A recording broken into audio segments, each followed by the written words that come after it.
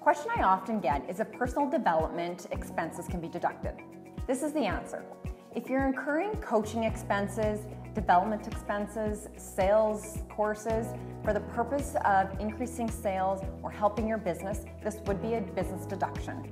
However, if the personal development is for personal reasons, this would not be a deduction for your business expense and it's just a personal expense that you'll have to incur out of pocket and would not be a deduction.